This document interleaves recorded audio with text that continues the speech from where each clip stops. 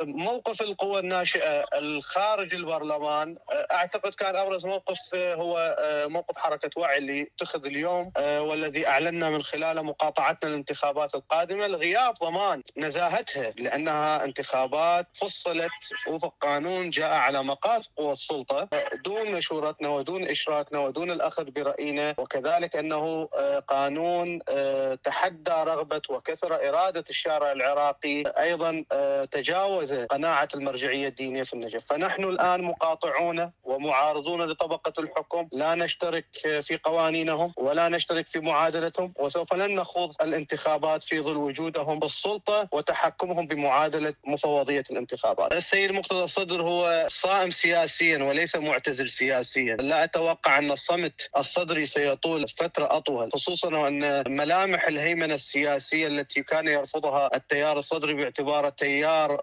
ناطق وليس صامت وهو تيار ايديولوجيا مبني على قناعة وهوية الحوزة الناطقة. عودنا بأن صمت لن يطول أمام غطرسة ويعني استبداد وتمترس القوى الفاسدة والمهيمنة على السلطة. لا شك نرتقب عودة قريبة للتيار. هسه هذه العودة قد تكون من خلال الشارع أو من خلال خطوات سياسية. قد تكون عودة أعمق من المطالبة بمراجعة قانون الانتخابات. لكننا بالنهاية نراهن على وجوده كفاعل اجتماعي قوي نتقارب مع اهدافه ورؤيته فيما يتعلق بتصحيح النظام السياسي وتغييره إلى نظام شبه رئاسي إنهاء معادلة التجربة النيابية الفاشلة التي تحكمها التوافقية المزيفة وهي بالنهاية توافقية تتحكم بها مساحة من الأحزاب أو مساحة الأحزاب التقليدية التقليدية الفاشلة على مدار 20 عام. قوى تحالف السلطة تجاسر المرة الثانية على المرجعية الدينية. أيضا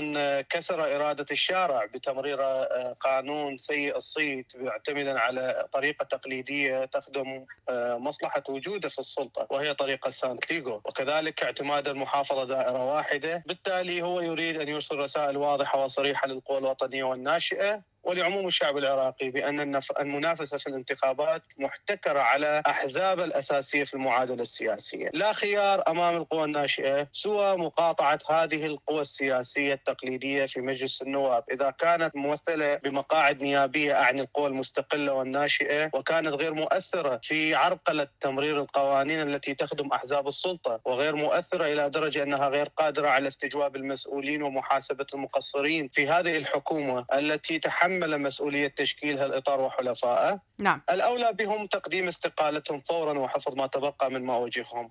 خصوصا وان ما لاحظناه مؤخرا أنه البرلمان لا يشكل حاضنة ضامنة لهم ملائمة لوجودهم. بعد طردهم يوم أمس بطريقة بوليسية وعسكرية وبأوامر من رئيس مجلس النواب وتدخل العسكر إلى حرم رئاسة مجلس النواب.